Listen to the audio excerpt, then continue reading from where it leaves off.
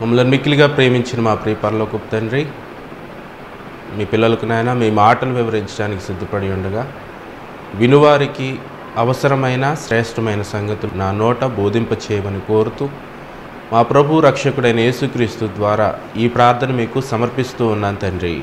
ఆమె ప్రియమైన దేవుని పిల్లారా ఈరోజు ఒక ఆలోచనాత్మకమైన సందేశాన్ని మనం పరిశీలన చేద్దాం. మానవ జీవితం ఈ భూమి మీద కోటాను కోట్లుగా ఈ లోకంలో పుట్టుకొస్తూ ఈ చుట్టూ ఉన్న జీవరాశులన్నింటికంటే భూజంతువులకు అన్నింటికంటే అధికమైన జ్ఞానము కలిగి ఉన్నతమైన బ్రతుకుగా జీవితంగా ఈరోజు మనుషులు బ్రతుకుతూ ఉన్నారు.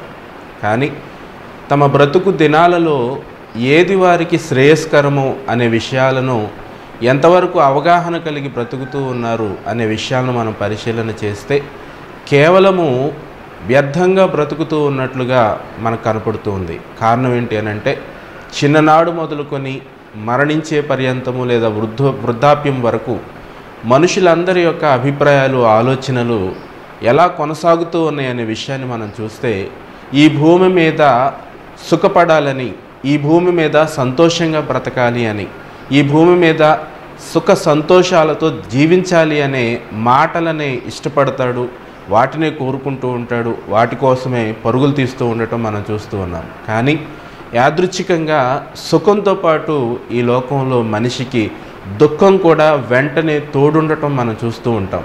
ఇంతకీ సుఖము దాని వెంపటే దుఃఖము ఇవి రెండు ఎప్పుడు కలిసిండేనా అనే విషయాన్ని మనం పరిశీలిస్తే సుఖం అనేది వేరు దుఃఖం అనేది వేరు.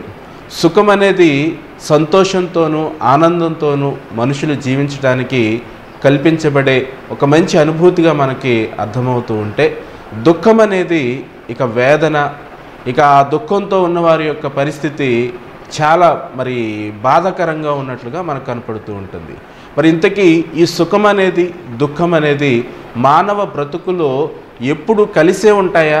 లేదా ఇవి విడిపోయే రోజు ఏదైనా ఉందా అనే విషయాన్ని మనం ఆలోచిస్తే మనుషులు ఈ సుఖ దుఃఖాల కోసమే ఆలోచిస్తూ ఉన్నారు కానీ ఇవి ఒక రోజున విడిపోబోతున్నాయి అనే సంగతిని గ్రహించలేకుండా ఉన్నారు. ఇక ప్రియమైన దేవుని పిల్లారా బైబిల్ అనేది ఎంత దివ్యమైన జ్ఞాన గ్రంథము మనం ఒకసారి పరిశీలన చేస్తే ఇందులో వ్రాయబడిన ప్రతి మాట అమూల్యమైనది. ఇంత అమూల్యమైన మాటలను సమాజం పెడచెవిని పెడుతూ ఉంది. ఒకసారి జ్ఞాని అయిన సొలోమోను గారు రచించిన ప్రసంగి గ్రంథము జ్ఞాని అయిన సొలోమోను రచించిన ప్రసంగి గ్రంథము ఏడవ అధ్యాయము పద్నాలుగో వచ్చిన మనం ఒకసారి చదువుదాం. చూడండి ప్రియమైన దేవుని వారలారా. జ్ఞానేను సొలోమోను రచించిన ప్రసంగి గ్రంథము ఏడవ అధ్యాయము పద్నాలుగు వచ్చిన మనం ఒకసారి చూడగలిగితే సుఖదినమునందు సుఖముగా ఉండుము ఆపద్దినమునందు యోచించుము. సుఖదినమునందు నువ్వు సంతోషంగా ఉండు. ఆపద దినము రాబోతా ఉంది అయితే ఆలోచన చెయ్యి నువ్వు గ్రహింపుకురా. ఏ విషయం గురించి సంభవించుతూ ఉన్న సంగతులన్నింటి విషయం ఒక అభిప్రాయానికి ఒక ఆలోచనకు రావాల్సిన అవసరత ఉంది. తర్వాత మాటలో మనం చదువుతూ ఉంటే తాము చనిపోయిన తర్వాత జరుగుదానిని నరులు తెలుసుకొనకుండునట్లు దేవుడు సుఖ దుఃఖములను జతపరచి ఉన్నాడు అని అంటున్నాడు. సుఖ దుఃఖాలను దేవుడు జతపరిచాడు. జతపరిచాడనంటే వేరు వేరుగా ఉన్న వాటిని జత చేయటం. వివాహాల్లో మనం వింటూ ఉంటాం. వేరువేరుగా ఉన్న వీరిద్దరిని కూడా దేవుడు జతపరిచాడు అనే మాటలను వివాహం చేసుకునే సందర్భాలలో వధువు అలాగే వరుడు గురించి వ్రాయబడిన మాటలను చదువుతూ మనం ఆలోచిస్తూ ఉంటాం. ఇక్కడ సుఖ దుఃఖాలను దేవుడు జతపరిచి ఉన్నాడు అని వ్రాయిస్తూ ఉన్నాడనంటే సుఖం అనేది వేరు దుఃఖం అనేది వేరు. ఇవి రెండు ఒకదానికొకటి కలుసుకోవు. అది వేరుగా ఉంటుంది ఇది వేరుగా ఉంటుంది. అదొక దారి ఇదొక దారిగా కనపడతా ఉంటుంది. ఆలోచించండి ప్రియమైన దేవుని వాళ్ళారా ఒక రైలు ప్రయాణం చేస్తూ మనం వెళుతూ ఉన్నప్పుడు ఆ రైలు దేని మీద ప్రయాణం చేస్తూ ఉంటుందని అంటే పట్టాలు ఉంటాయి దాని ముందు. ఆ పట్టాలు ఎలా ఉంటాయనంటే కుడివైపున ఒకటి ఉంటుంది ఎడమ వైపున ఒకటి ఉంటుంది. అవి రెండు ఎప్పటికీ కలవనే కలవవు ఆలోచించండి. అవి రెండు కలిస్తే ప్రయాణం సాగదు. ఆలోచించండి ఒకసారి. కానీ భూమి మీద మానవ బ్రతుకులో దేవుడే సుఖాన్ని దుఃఖముతో జతపరిచి మనల్ని భూమి మీదకు పంపించాడు. ఎందుకు అని అంటే ఇదిగో భూమి మీద బ్రతుకు కాలంలో సుఖం ఎలా ఉంటుందో నీకు అర్థమవుతుంది. దుఃఖం ఎలా ఉంటుందో అర్థమవుతుంది. అయితే కన్ను మూసిన తరువాత ఏం జరగబోతోందో తెలుసా? సుఖము వేరైపోతుంది దుఃఖము వేరైపోతుంది. నీ బ్రతుకు దినాలలో నువ్వు చేసిన క్రియలను బట్టి నువ్వు సుఖపడటానికి శాశ్వత కాలం వెళ్ళిపోతావా? లేదా శాశ్వత కాలము దుఃఖం అనే బాటలో వెళ్ళిపోయి దుఃఖపడుతూ నరకాగ్నిలో కాలిపోతావా అనేది భూమి మీద నీ బ్రతుకు దినాలను బట్టి నువ్వు అర్థం చేసుకోవాలి ప్రియమైన దేవుని వాళ్ళారా ఆలోచించండి. సుఖం అనేది దుఃఖం అనేది రెండు రెండు చక్రాలని అనుకుంటే ఈ భూమి మీద బ్రతుకు అనే బండికి ఈ రెండు కూడా చక్రాలుగా కలిసి ఉంటేనే మనం ముందుకు సాగగలం. ఆలోచించండి ఒకసారి. ఎప్పుడు ఇవి రెండు విడిపోతాయనంటే కన్ను మూసిన మరుక్షణం మరణించిన తర్వాత. ఈ మరణం తర్వాత జరగబోతున్న సంభవాలను గురించి మనిషి పట్టించుకోవటం మాని కేవలము బ్రతుకు కాలంలో ఎలా బ్రతుకుతున్నాడు ఏం ఆలోచిస్తూ ఉన్నాడనే సందర్భాలు మనం చూస్తే క్షణికమైన ఆనందం కొరకు క్షణికమైన సుఖం కొరకు భూమి మీద తన బ్రతుకును ఎంతగా నష్టం పాలు చేసుకుంటున్నాడు వ్యర్థపరుచుకుంటున్నాడు ఆలోచించవలసిన అవసరత ఉంది. ఆలోచించడు ప్రియమైన దేవుని వారులారా ప్రతి వారు కూడా తనకు సుఖం రావాలని తనకు సంతోషం రావాలని తను ఆనందించాలని ఎదుటవాడిని మరి ఎన్ని రకాలుగా ఇబ్బందులు పాలు చేస్తూ ఉన్నాడు మోసగిస్తూ ఉన్నాడు. కానీ ఈ క్రియల వలన ఈ భూమి మీద నువ్వు పడుతున్న ఈ సుఖము శాశ్వతం కాదని కన్ను మూసిన తర్వాత వీటన్నింటిని బట్టి దేవుడు తీర్పు తీర్చబోతూ ఉన్నాడని ఆ తీర్పులో నువ్వు చేసిన క్రియలను బట్టి ఒకవేళ నువ్వు నరకానికి వెళ్ళిపోతే ఇక శాశ్వత కాలము దుఃఖములోను మరణములోను వేదనలోను నీవు ఉండవలసిందే. ఆలోచించండి ఒకసారి. బ్రతుకు కాలంలో నువ్వు జ్ఞానం తెచ్చుకొని నీ బ్రతుకును సరిచేసుకోవటం అనేది ఎంత అవసరమో ఇక్కడ మీరు గ్రహించాలి ప్రియమైన దేవుని వార్లారా. కన్ను మూసిన తర్వాత ఏమన్నా మీరు ప్రభువుని నమ్మారా? దేవుని యందు మీరు నిరీక్షించారా? దేవుని కొరకు భూమి మీద మీరు కార్యక్రమాలు చేస్తూ ఉన్నారా? దేవుని కొరకు ఎన్నో కార్యక్రమాలు చేస్తూ ఆయన పనిలోనే మీరు మరణించారా? అయితే మన కొరకు దేవుడు వ్రాయించిన కొన్ని ఆదరణకరమైన మాటలను బైబిల్లో మనం చదువుదాం చూడండి. ప్రకటన గ్రంథము పద్నాలుగవ అధ్యాయము. ప్రకటన గ్రంథము పద్నాలుగవ అధ్యాయము. పదమూడు వచ్చినాన్ని మనం చదువుకుందాం. చూడండి ప్రియమైన దేవుని వారలారా. ప్రకటన గ్రంథము పద్నాలుగో అధ్యాయము పదమూడు వచ్చినము అంతటా ఇప్పటి నుండి ప్రభువునందు మృతినందు మృతులు ధన్యులని వ్రాయమని పరలోకము నుండి ఒక స్వరము చెప్పగా వింటిని. ఇప్పటి నుండి ప్రభువునందు మృతులైన వారు ధన్యులు మృతినందు మృతులు ధన్యులని వ్రాయము. ప్రభువునందు భూమి మీద ఎన్నో శ్రమలు అనుభవించి కష్టాలు అనుభవించి దేవుని కొరకు ప్రయాసపడి కన్ను మూస్తే వారు ధన్యులని దేవుడు తెలియచేస్తూ ఉన్నాడు. నీ కోసము నీ పిల్లల కోసము నీ భార్య కోసము ఈ లోకం కోసము బంధువుల కోసం నువ్వు బ్రతికి మరణిస్తూ నువ్వు ధన్యుడు కాదు కానీ ప్రభు కొరకు దేవుని కొరకు నీ జీవితాన్ని నువ్వు అర్పించగలిగితే దేవుని కొరకు నువ్వు త్యాగం చేయగలిగితే నీ బ్రతుకు ధన్యం అని అంటున్నాడు దేవుడు. ఎందుకు ధన్యము? ఏం సంభవించబోతుంది అనే సందర్భాన్ని మనం చూడగలిగితే వారు తమ ప్రయాసములు మాని విశ్రాంతి పొందుదురు. వారు ప్రయాసములు మాని భూమి మీద తమ ప్రయాసలన్నింటినీ కూడా మానివేసి ఎక్కడికి వెళ్ళిపోతున్నారని అంటే కన్ను మూసిన తర్వాత వారు విశ్రాంతిలోనికి వెళ్ళిపోతున్నారు. కన్ను మూసాక వారంతా కూడా విశ్రాంతిలోనికి ప్రవేశిస్తున్నారు. వారి క్రియలు వారి వెంట పోవునని ఆత్మ చెప్పుచున్నాడు. వారు ఏ క్రియలైతే చేశారో భూమి మీద ఆ క్రియలన్నీ వారితో పాటు వెళతాయి. వారు చేసిన క్రియలన్నింటికి జీతం దేవుడు వారి కొరకు సిద్ధపరుస్తూ ఉన్నాడు. భూమి మీద మనుషులు చేస్తున్న ప్రయాసకు కన్ను మూసిన తర్వాత నీ పిల్లల కోసమో నీ వారి కోసమో ఈ లోకం కోసం నువ్వు చేస్తే ఆ క్రియలు నీతో పాటు రావు కానీ దేవుని కొరకు నువ్వు ప్రయాసపడి దేవుని కొరకు నువ్వు చేసిన ప్రతి క్రియ కూడా నీతో పాటు మరి మరణించిన తర్వాత వస్తూ ఉంటుందని దేవుడు చెప్తూ ఉన్నాడు. ఎందుకు? వాటి యొక్క ప్రతిఫలము నీవు పొందబోతూ ఉన్నావు. కన్ను మూసిన తర్వాత మరణించిన తర్వాత ఏమంటే ఎవరైనా మరణం తర్వాత సంభవించబోతున్న ఈ సంగతుల గురించి అవగాహన కలిగే ఆలోచన కలిగి ఉన్నారంటారా చెప్పండి? ఉండదండి. కేవలము భూమి మీద బ్రతుకు కాలంలో అశాశ్వతం అన్న సంగతి ఎన్నిసార్లు విన్నా అర్థం చేసుకున్నా కూడా ఇక్కడే స్థిరపడాలి ఇక్కడే కూడపెట్టాలి ఇక్కడే సమకూర్చుకోవాలని అనుకుంటున్నాడు కానీ ఇది అశాశ్వతమని ఏదో ఒక రోజున దీన్ని విడిచిపెట్టాలని రాబోతున్న ఆ లోకము పొందబోతున్న ఆ మహిమను గురించి ఏమాత్రము ఇష్టం లేకుండా బ్రతుకుతున్నారు భూమి మీద. కానీ దేవుడు వ్రాయిస్తూ బైబిల్లో నువ్వు పొందబోతున్న మహిమ ఎంత గొప్పగా ఉండబోతుందో తెలియజేస్తున్న మాటలను ఒకసారి చూద్దామండి. ఏమండి మరణం ప్రభువునందు మరణిస్తే ఎలా ధన్యులు మనం అవుతాం? మనం పడిన ప్రయాస అంతా వ్యర్థం కాదా? మనం పడిన ప్రయాస అంతా మనతో పాటు మనం మరణించిన తర్వాత వెళుతుందంటే అవును నువ్వు చేసిన క్రియలన్నీ నీతో పాటు వస్తాయని దేవుడు చెప్తూ ఉన్నాడు. నువ్వు పడిన కష్టం నువ్వు చేసిన ప్రయాణాలు నువ్వు చేసిన ఎన్నో మరి త్యాగాలు ఇవన్నీ నీతో వచ్చేస్తే మరణించిన తర్వాత అని దేవుడు చెప్తూ ఉన్నాడు. ఇంతేనా అని అంటే లేదండి. ఇంకా ఎన్నెన్ని దేవుడు మన కొరకు సిద్ధపరిచాడో బైబిల్లోనికి వెళ్ళి మనం పరిశీలన చేద్దాం. రెండో పత్రిక దయచేసి క్షమించండి. కొరిందులకు రాస్తున్న రెండో పత్రిక ఐదో అధ్యాయం మొదటి వచ్చినాన్ని మనం చదువుకుందాం. కొరిందులకు రాస్తున్న రెండో పత్రిక ఐదవ అధ్యాయము మొదటి వచ్చినాన్ని మనం చూడగలిగితే ప్రియమైన దేవుని వాళ్ళరా భూమి మీద మన గుడారమైన ఈ నివాసము శిథిలమైపోయినను. జాగ్రత్తగా ఆలోచిద్దాం. భూమి మీద మన గుడారమైన ఈ నివాసము ఈ నివాసము. ఇంతకీ ఏ నివాసము ఏ గుడారం గురించి మాట్లాడుతూ ఉన్నాడు పౌలు గారు? మన గుడారం అనగానే మన నివాసం అనగానే మన ఆలోచనలన్నీ ఎక్కడికి వెళ్తాయనంటే మనం కట్టుకున్న ఇల్లు లేదా మనకున్న రేకుల షెడ్డు మనకున్న పాక వీటి మీదకి వెళ్ళిపోతూ ఉంటాయి. కానీ శరీరంతో మనం నివసించడానికి మనం కట్టుకున్న నివాసం ఇదైతే ఆత్మలమైన మనము ఈ భూమి మీద నివసించడానికి దేవుడు నిర్మించిన నివాసమే ఈ మానవ దేహం ప్రియమైన దేవుని వాళ్ళారా ఆలోచించండి. ఈ దేహానికి కూడా ఏమైపోతుంది? ఇది కూడా శిథిలమైపోతుంది. మనం కట్టుకున్న ఇల్లు ఒక ఇరవై ఏళ్ళకు ముప్పై ఏళ్ళకు ఏ విధంగా అయితే బేటలు వారిపోయి శిథిలావస్థకు వచ్చేస్తుందో అలాగే శరీరాలతో పుట్టుకొస్తున్న మానవులందరూ కూడా సంవత్సరాలు గడుస్తూ ఉన్న కొలది ఒక అరవై ఏళ్ళు వచ్చేసరికి నీ రూపం పసివాడుగా ఉన్నప్పుడుగా ఉన్నట్లుగా ఉండదు. నీ ఆకారము యవనంలో ఉన్నంత బలంతో ఉండదు. నీ దేహంలో ఎన్నో మార్పులు వచ్చేస్తాయి. నీ అవయవాలన్నీ కూడా శిథిలావస్థకు వచ్చేస్తాయి. పని చేయటం మానివేస్తాయి. ఆలోచించండి ఒకసారి.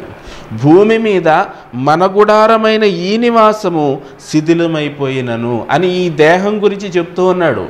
ఈ దేహము మనకు గుడారం అని అంటున్నాడు. ఈ దేహంలో మనమంతా కూడా నివసిస్తున్నామని అంటున్నాడు. అవునా?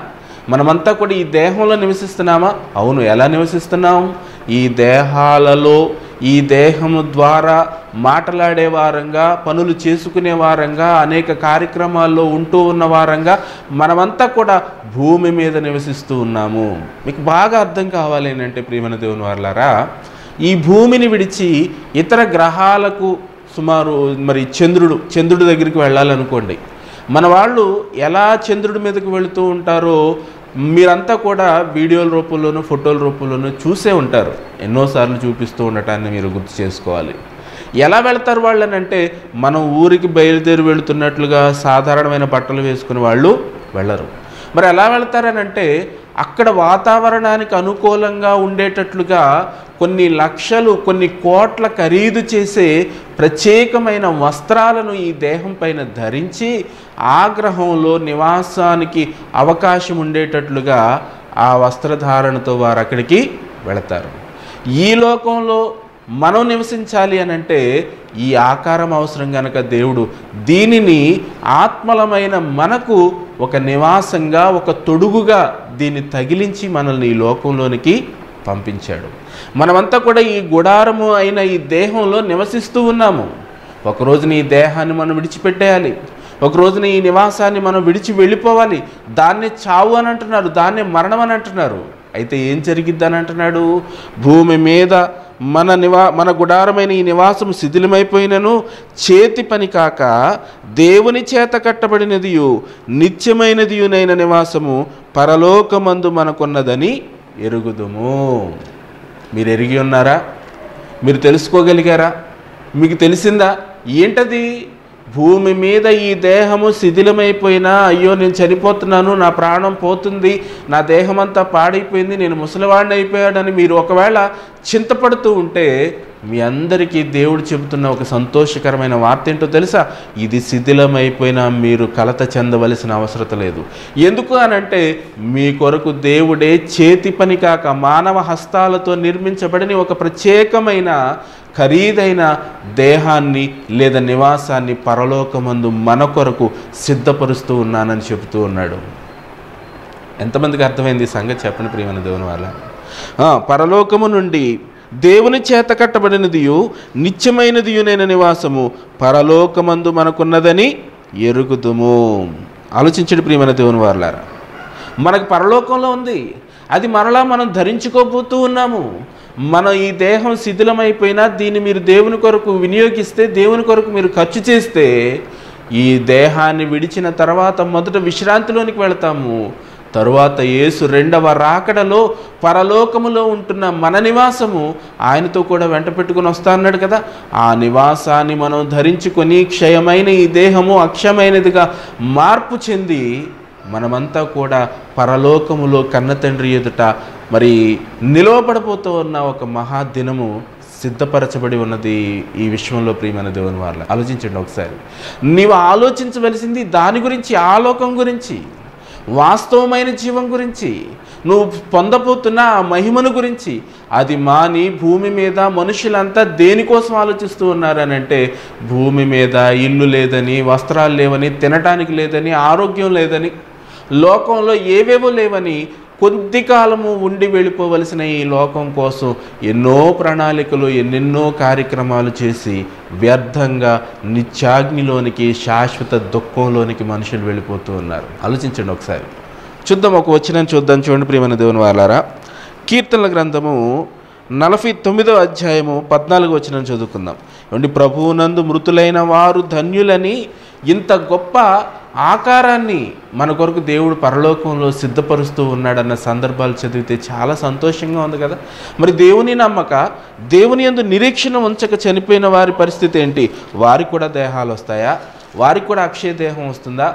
వారి పరిస్థితి ఎలా ఉంటుందని బైబిల్లోనికి వెళ్ళి మనం పరిశీలిస్తే ప్రియమైన దేవుని వారులారా నలభై తొమ్మిదవ అధ్యాయము పద్నాలుగు వచ్చిన చదువుకుందామండి. కీర్తన గ్రంథము నలభై తొమ్మిదవ అధ్యాయము పద్నాలుగు వచ్చిన మనం చదువుదాం చూడండి బైబిల్లో నుంచి. వారు పాతాళములో మందగా కూర్చబడుదురు మరణము వారికి కాపరి అయి ఉండును మందగా కూర్చబడుదురు. ఎవరు? దేవుని కొరకు నిరీక్షణ లేక దేవుని యందు నమ్మిక లేక దేవుని కోసం బ్రతకక కేవలము భూమి మీద ఈ శరీర కోరికలు తీర్చుకోవటం కొరకు భూమి మీద ఉన్న బంధుత్వాలు భూమి మీద ఉన్న బంధాలకు బందీలుగా మారిపోయి ఈ లోకం కోసం బ్రతికిన వారందరిని గురించి దేవుడు చెబుతూ ఉన్న మాటలేంటో తెలుసా? ఇదిగో ఇక్కడ నీ బ్రతుకు కాలంలో వేటిని వేటిని నువ్వు రుచి చూసావో వేటిని నువ్వు పరిశీలించావో అవే సందర్భాలను సరిపోల్చుతూ నీ మరణానంతర జీవితం ఎలా ఉండబోతుందో దేవుడు తెలియజేస్తున్నాడు ఇక్కడ. ఎలా ఉండబోతుందని అంటున్నారు? వారు ఏం చేయబడతారట? పాతాళములో మందగా కూర్చబడుదురు. కూర్చబడుదురు. ఎలాగా? మందగా. మందలుగా కూర్చి. కూర్చటం అంటే అర్థం ఏంటి? ఏదైనా సూట్ కేసులో వస్త్రాలను లేదంటే ఏదైనా ఒక పాత్రలో ఏదైనా పదార్థాన్ని కూర్చి కూర్చి దానిలో పెడతాం. ఖాళీ లేకుండా. అవును కదా? ఇప్పుడు వీళ్ళందరూ కూడా పాతాళంలో మందలుగా కూర్చబడతారని అంటున్నాడు. ఏమండి? మర్యాద లేదా అక్కడ? గౌరవం లేదా అక్కడ? మంచి చెడు అనేది ఏం కనపడదు అక్కడ. ఏమీ ఉండదు. మరేముంటుంది?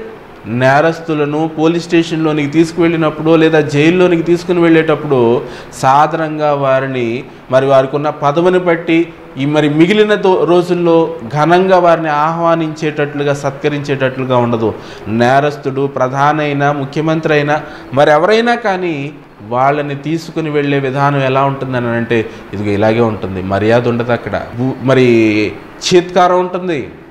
అలాగే రకరకాలైన చెడ్డ మాటలతో వారిని మాట్లాడుతూ ఉంటారు దూషిస్తూ ఉంటారు దూషణ మాటలు ఉంటాయి గౌరవం ఉండదు.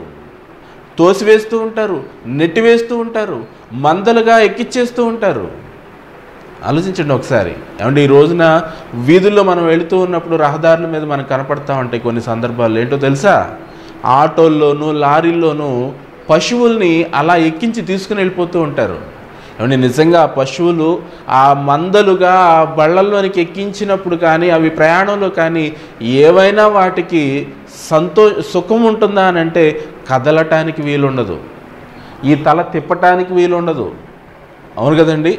ఒకదానికొకటి ఆనుకుని ఉంటాయి చాలా కంజెస్టెడ్గా ఉంటుంది. ఆ బాధను భరిస్తూ అవి రావాలి.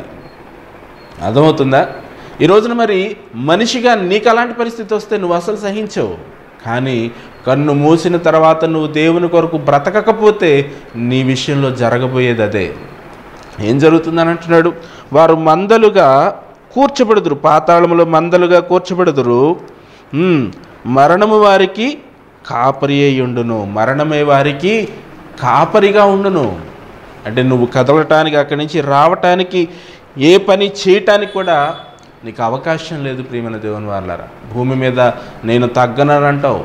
నేనేమి చేయను. నాకేంటి? నేను గొప్పవాడిని అని అంటావు రోషంతో బ్రతుకుతానని అంటావు నా వ్యక్తిత్వం ఇది అని అంటావు అవన్నీ భూమి మీద మాత్రమే. కన్ను మూసిన తర్వాత నీకు ఎటువంటి అవకాశాలు ఇక లేవు. ఆలోచించడం ప్రియమైన దేవుని వారులారా. మరొక వచ్చినాన్ని కూడా చూద్దాం చూడండి. ఏమండి?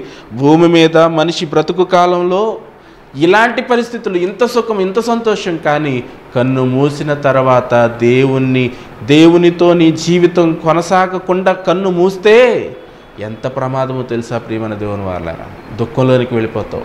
అక్కడ వేదన పండ్లు కొరకటే ఉంటుంది.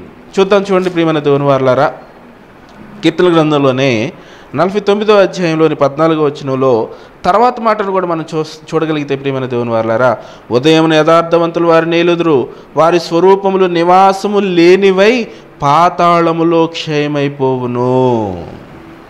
వారికి నివాసాలు లేవా? లేవు.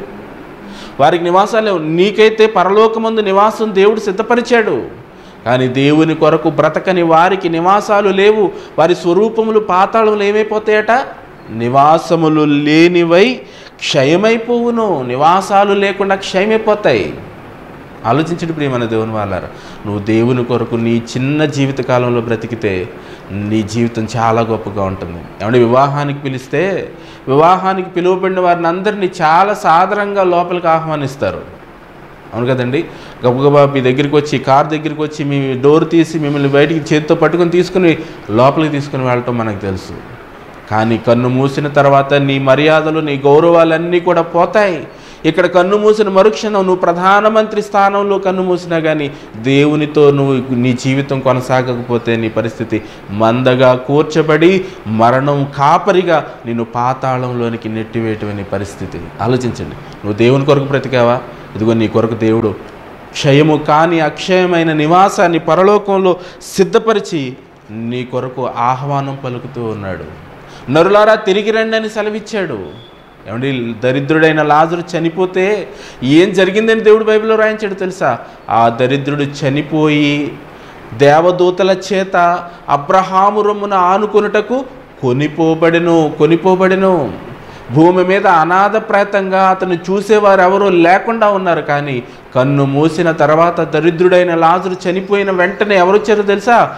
అతన్ని తీసుకుని వెళ్ళటానికి దేవదూతలు వచ్చారు. ఆహ్వానం.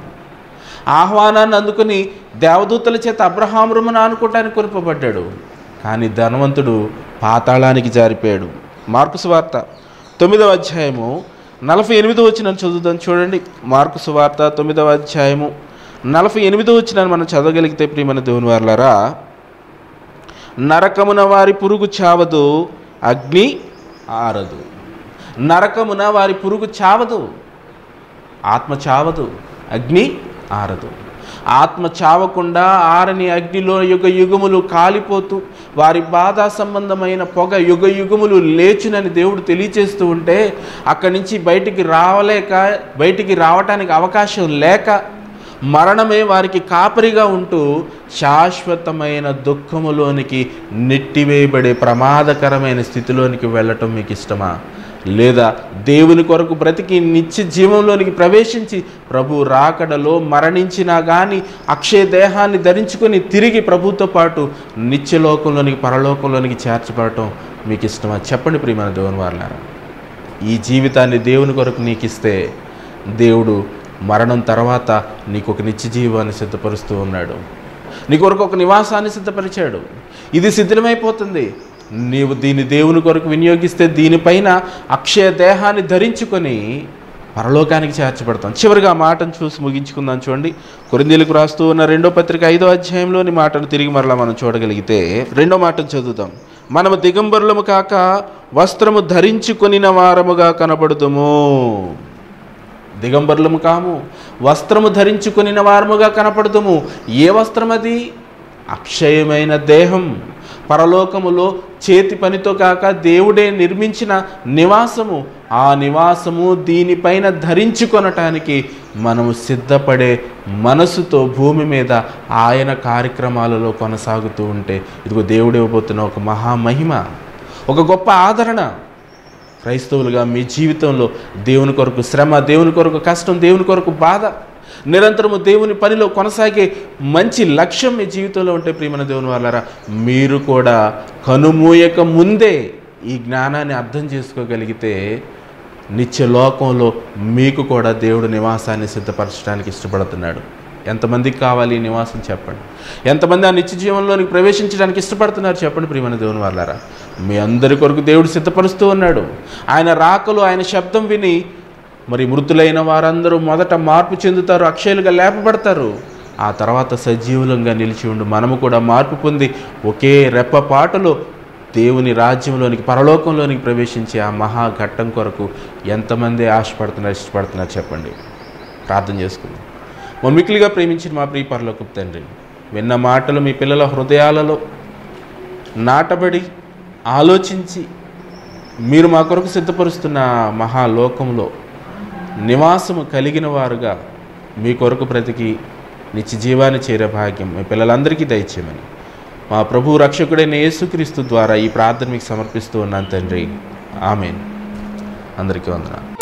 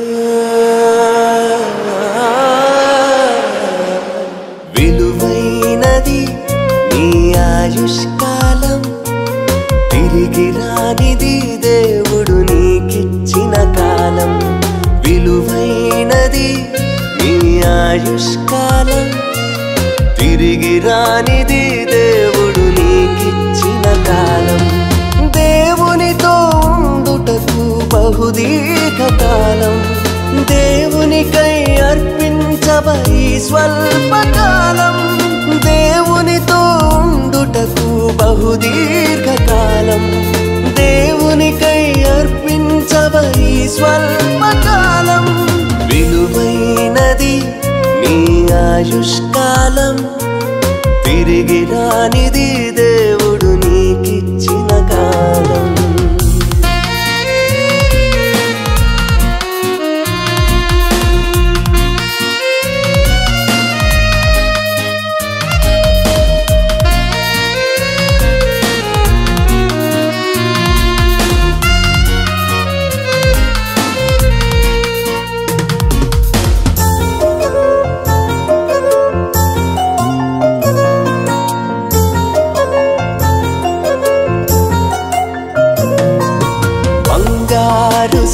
ಕದಲನು